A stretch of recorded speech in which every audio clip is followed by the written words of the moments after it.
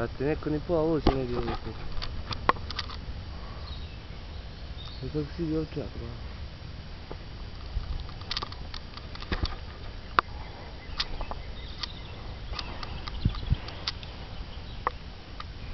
Ha ha ha ha!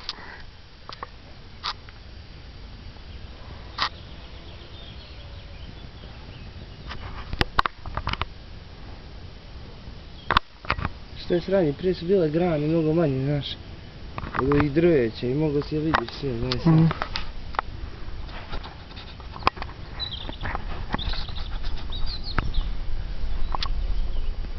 Kako si vidio pođu, da sad ne vidiš ništa.